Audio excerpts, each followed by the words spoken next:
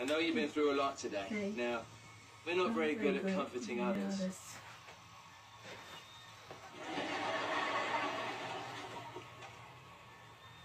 Are you ready to rock?